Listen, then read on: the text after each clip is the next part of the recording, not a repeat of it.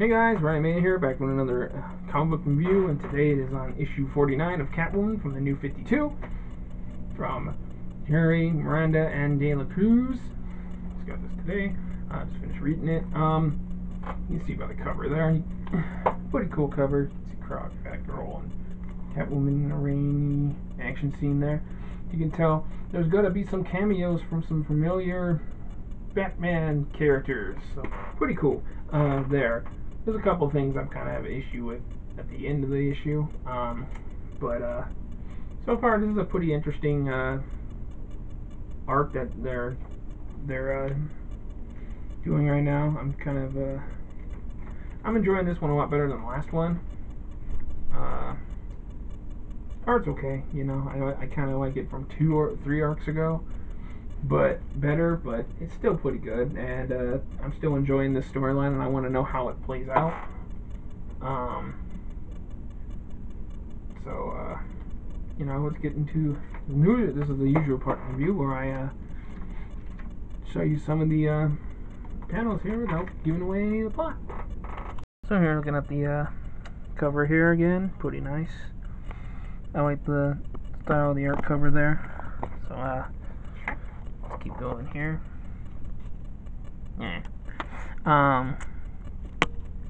See some of the rogues here, pretty cool.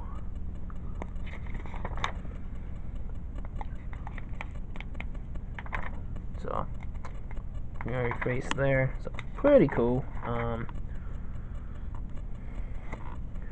Legends of Tomorrow.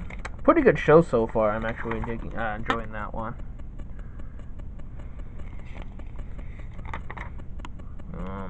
About DC All Access. So yeah, you know, some cool stuff going on here. Some cool dynamic uh, panels there. Um, yeah, man, some. Uh, that's a good story. Hush is probably my favorite modern Batman story so far. Here's another one. At this. It's pretty cool so far bunch of Supermans.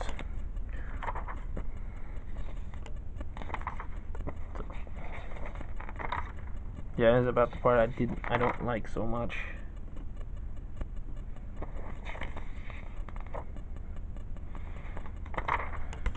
Dark Knight Returns 30th anniversary. Superman from the new movie there. And Superman Bad Blood, newest animated uh, Batman animated movie. I need to check that out. And one more time on the cover. So yeah, pretty cool. So all in all, I think this is a pretty interesting issue. Um, you know, if you're not familiar, uh, she has been contacted. She's uh, been hired to steal the Frost Diamond. Um, and her one of her mentors and closest friends was murdered in the process, and she was framed. In the beginning, she was framed for the uh, for the crime, and now she's trying to solve it. Um, and you know we're getting into nitty gritty there. A bunch of people, top players, are um, being pulled into the story, and you know a couple twists and turns here and there. Um, like I said, a bunch of Batman cameos, Batman character cameos. Um, so that's pretty neat. You know, like I said, it's another. If you're if you're reading Catwoman, you're probably checking this out anyway. But um, if you're not, um, I think it's pretty good. I think it's worth a read if you're a fan of the character Selina Kyle, Catwoman. Um, it's a lot more into her height, more at the heist and mystery. And I, you know, I'm enjoying it, and I definitely do recommend it if you're a uh, Catwoman, uh, Selina Kyle Catwoman fan. Um, Catwoman fan in general. Anyway, um, this was my quick review on the uh, issue 49 of Catwoman from New 52. Did I say 59? Yeah, issue 49 of uh, Catwoman from New 52. Hope you like it. Hope I'm helpful. If you did, please hit the like button, subscribe, share, and leave a comment. Definitely appreciate it. Follow me on Twitter at Ryan Maiden. As always, my Facebook profile is going to be in the description below. Thanks for watching, and I'll catch you guys next time. Oh, Batgirl getting choked out. I want to use those legs on me any any day. Oh, look out! There's Croc!